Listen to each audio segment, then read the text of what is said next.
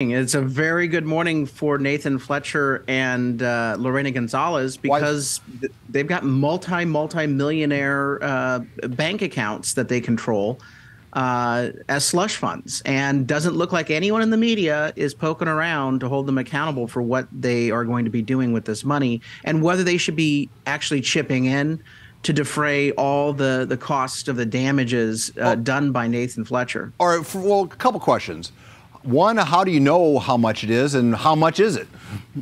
So uh, Nathan Fletcher and Lorena Gonzalez, after years in politics, kept raising more and more money from special interests. These campaign contributors uh, and donors continue to give to various funds that these uh, politicians control.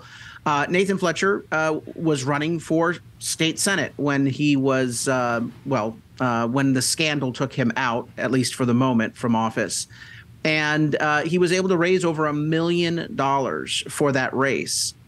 Uh, under the law, he can't just simply transfer that to his personal bank account. It's it has to remain in a campaign account, and therefore, Paul, we have access to how much he has left. And currently, it shows that he has over nine hundred and eighty thousand dollars sitting in a campaign account uh, at his disposal, and he's returned no money no money to donors.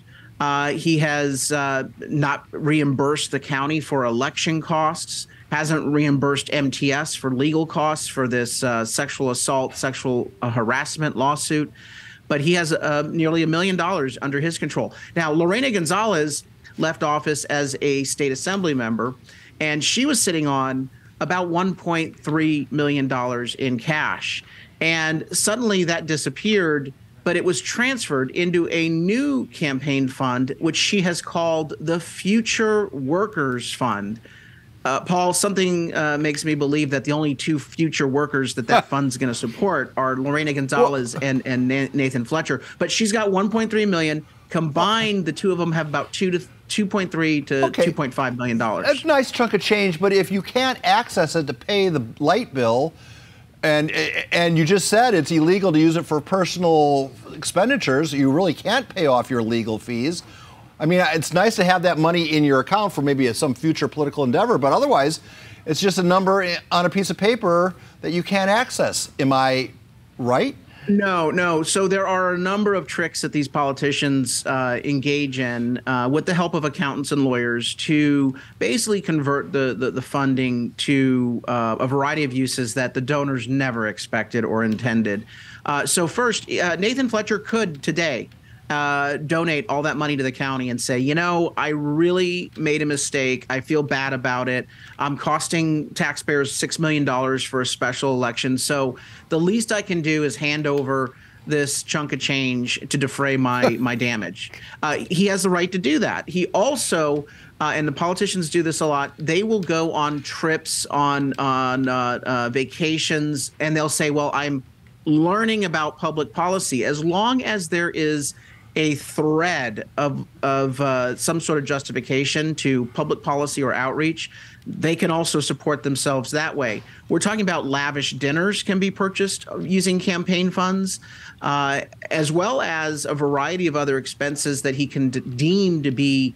Uh, in preparation for a future run for office, so this this money again, they're they're sitting on it they have these damages that they've caused. They need to do their part. If, if Nathan Fletcher really is uh, contrite about his failings, then the least he can do is say, I'm not going to run for office again. Uh, I'm not going to try to weasel my way back in. Here is all the money I collected for campaigns, uh, for public service, and it should go for the public benefit. But he's not going to do that. And no one in the media, Paul, uh, except for KUSI, is really po- focused on this. Come on, does, does that surprise you? Uh, no. Carl, is it is it legit for uh, uh, Nathan or Gonzalez to give the money to other political people they support? Like, uh, could, could they take that money and transfer it to another race they, they deem important in the state of California? Oh, they certainly could. Uh, they could do independent expenditures. They could give direct campaign contributions. But Nathan Fletcher and Lorena Gonzalez aren't about the movement and helping anyone else out. They're about themselves. And that's, again, why they're just sitting on the cash. When you look at it, you're not seeing this money spent for legitimate public policy advancement or to help other candidates out. If they did that, then at least it would be permissible uses in terms of what the donors expected. The donors who gave money to Nathan Fletcher and Lorena Gonzalez felt like they were supporting people in theory that they were um, um, uh, believing in, or maybe they just wanted some sort of deal or, or some sort of benefit um, in terms of how they were voting or what they were doing. But those campaign funds presumably go to advancing causes or candidates. Uh, the only cause and the only candidacies that those funds right now uh, are poised to advance are Lorena Gonzalez and Nathan Fletcher, and they need to be called on the carpet for it. Would I they be, need to be shamed for it, frankly. Would I be wrong in saying that a big chunk of that money is coming from union sources?